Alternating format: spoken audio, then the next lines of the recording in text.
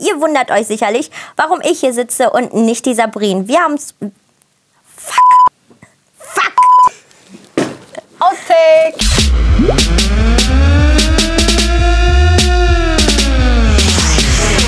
Herzlich willkommen zu einer neuen Folge von Frag mich doch. Ihr wundert euch jetzt sicherlich, warum ich hier sitze und nicht die Sabrine. Äh, wir haben uns mal gedacht, wir machen einen fliegenden Wechsel im Moderatorenteam, damit es ein bisschen Abwechslung gibt. Mein Name ist Kybra und vielleicht kennt ihr mich aus meinen Vlogs auf YouTube. Ich habe heute zum Thema Kommunikation die liebe Laura hier sitzen. Hi, ich bin Laura, ich bin Dolmetscherin für deutsche Gebärdensprache. Insofern habe ich in meinem Alltag ziemlich viel mit Kommunikation zu tun. Und ähm, ich bin die beste Freundin von Eddie. Und das ist der eigentliche Grund, warum ich hier sitze, glaube ich. genau, Eddie werden wir später auch noch dazu holen. Ähm, du bist durch Eddie dann zum Gebärdensprachdolmetschen gekommen. Genau. Wie sieht dein Alltag in diesem Beruf aus? Ähm, zum Glück jeden Tag anders, was ich sehr schätze an dem Beruf. Ja, also der Arbeitsalltag ist super, super divers. Ähm, große Kongresse, Bundestag, kleine Teamsitzungen, alles. Mhm. Kindergeburtstage, Hochzeiten. Menschen wollen kommunizieren, Dolmetscher sind da. Ja.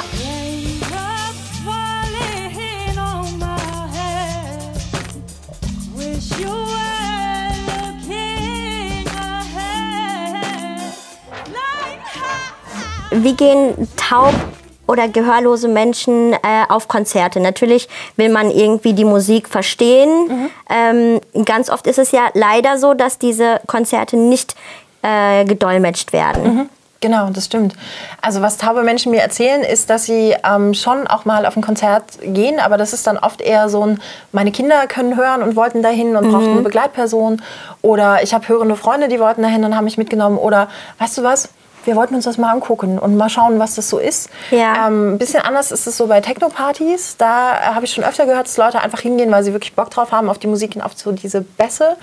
Und ähm, Leute, die dann öfter auf Konzerte gehen, unabhängig ob da ein Dolmetscher ist oder nicht, sind dann eher so diese Szene-Geschichten. Also so, ey, weißt du, ich bin Hip-Hopper und mir ist egal, ob ich hören kann oder nicht. Und wenn da ein Hip-Hop-Konzert ist, sind da alle meine Homies und dann gehe ich da auch hin. Okay, okay. Ähm, aber da geht es dann weniger so um dieses reine Musikerlebnis, sondern das ist dann ganz viel von dem Ringsrum. Also yeah, Lichter und da steht einer und es groovt und es Okay. fetzt und ähm, im Publikum passiert ganz viel. So. Aber würdest du sagen, dass sie öfter auf Konzerte gehen würden, wenn sie öfter gedolmetscht werden würden? das ist zumindest das, was die Erfahrung zeigt. Ja? Also sobald Dolmetscher da sind, ähm, gibt es eine exponentielle Steigerung des tauben Publikums. Deswegen sind eigentlich alle Veranstalter ziemlich doof, die das nicht machen, weil das ist einfach eine riesen Zielgruppe, die sie bisher komplett außer Acht lassen. Das ist ganz schön doof. Ja, total. Ähm, wie würden Veranstalter das angehen? Ähm, ziemlich easy. Sie fragen entweder Ihren örtlichen Dolmetscherverband und sagen, hallo, ich habe ein Konzert und möchte es gerne dolmetschen lassen. Oder Sie fragen bei mir an, das geht auch. Und dann komme ich einfach vorbei. Genau. Ja gut, du kannst ja jetzt auch nicht äh, in, in äh, jedes Konzert. Wohl, Ich kann jedes Konzert dolmetschen. überall, immer und gleichzeitig. Wie gehst du damit um, wenn du gar keine Lust auf diese Art von Musik hast, die du gerade dolmetschen musst? Ein Hoch auf Internetvideos. In der Regel gibt es immer irgendwelche völlig krassen Fans, die das total feiern und davon kann ich mich ganz gut anstecken lassen. Okay. Also so ein Helene Fischer Stadion, das abgeht wie nix. Ja, das, da bin ich nicht immun gegen. So, das ist ganz cool. Davon kann ich ganz viel ziehen und dann ist es halt, hey Helene, jo, lass uns arbeiten. ist halt voll okay.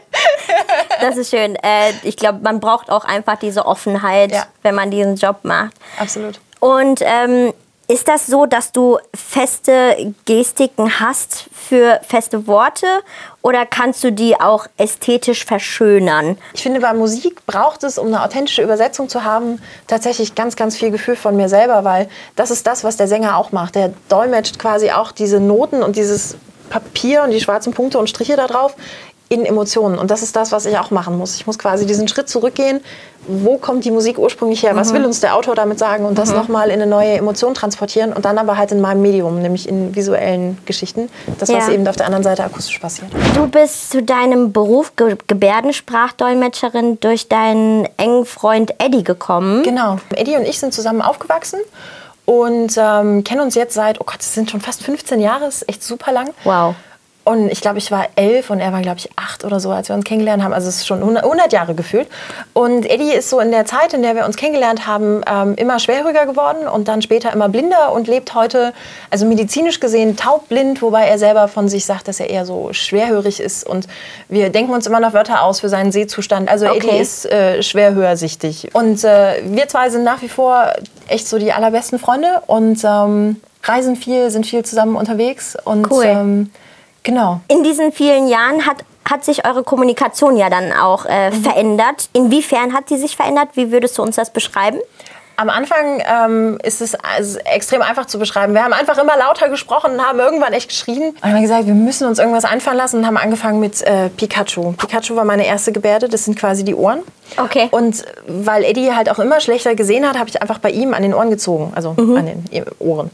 Und so haben wir nach und nach alle quasi die wichtigsten Tierchen haben wir benannt. Mhm. Und dann haben wir gesagt, weißt du, eigentlich, wenn wir schlau wären, würden wir uns jetzt noch was überlegen für gewonnen, verloren und ich komme morgen um vier anstatt um fünf. Und irgendwann ging uns aber so ein bisschen die Berührung aus. So 20 Mal auf die Schulter klopfen war blöd. Also haben wir Mhm. gesagt, wir brauchen eigentlich ein anderes System und haben uns Buchstaben ausgedacht. Und haben äh, uns quasi eine, wir nennen sie gerne unsere Geheimsprache. Ja, davon überlegt. habe ich gelesen. Ja, die Geheimsprache, die legendäre.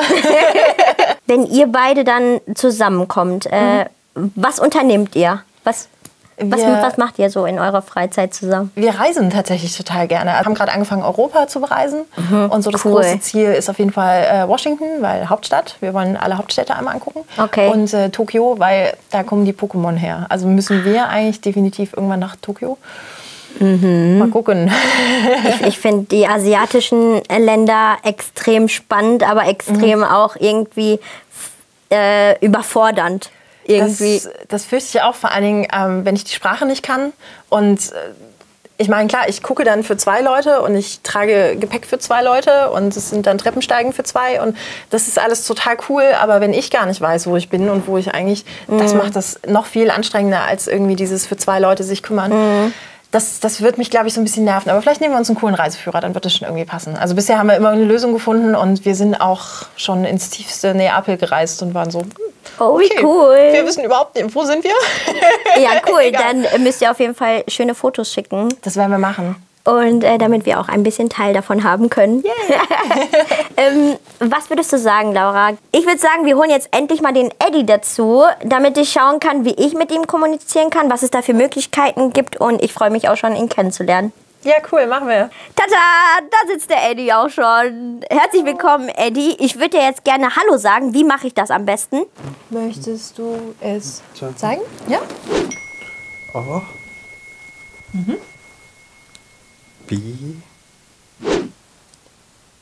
C. D. E. F. G.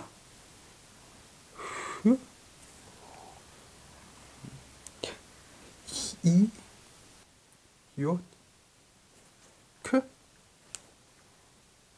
H.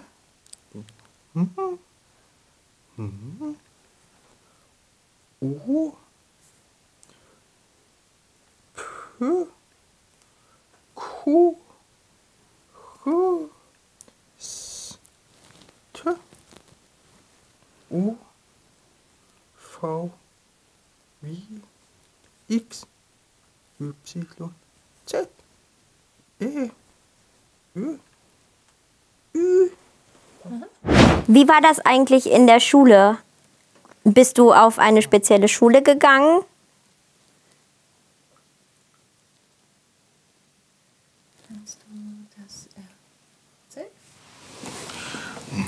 Zuerst in der zweiten Grundschule in Klüben, dann seit ich neun bin und schlechter gehört und gesehen habe, dann ja im Spezialunterricht von der gleichen Schule.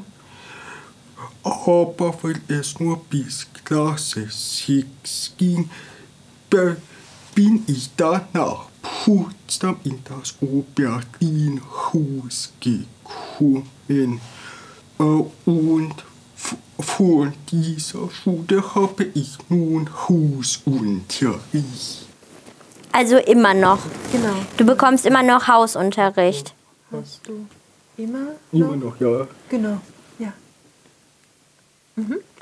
Und möchtest du was vom Hausunterricht Ja. erzählen? Komm, Und so lerne ich jetzt weiter die Kurzschrift von der Blindenschrift und es in es schreiben.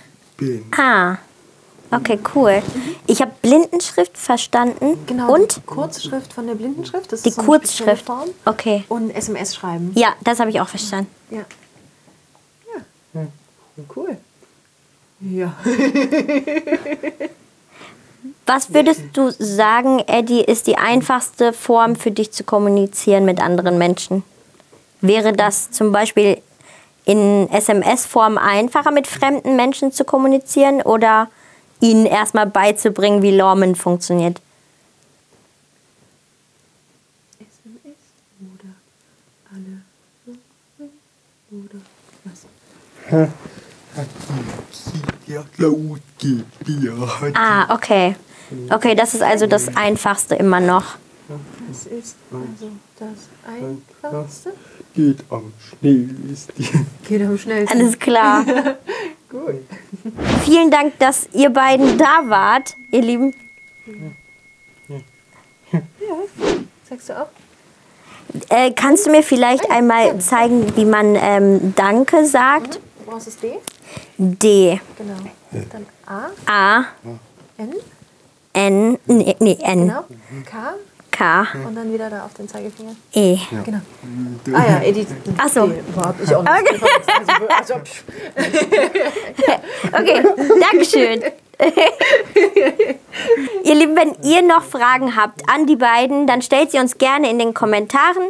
In der nächsten Folge von Frag mich doch geht es übrigens um das Thema Behinderung in Film und Fernsehen. Wenn euch das Thema interessiert, dann schaltet unbedingt ein. Wir sagen erstmal Tschüss und bis zum nächsten Mal. Tschüss. Tschüss.